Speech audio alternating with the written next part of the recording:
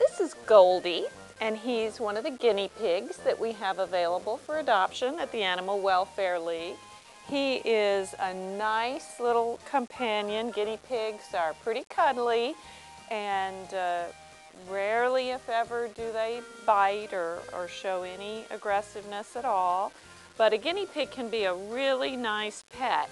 And if you're interested in learning more about taking care of guinea pigs, we can certainly help you with that here at the shelter. So please come down and ask to meet Goldie.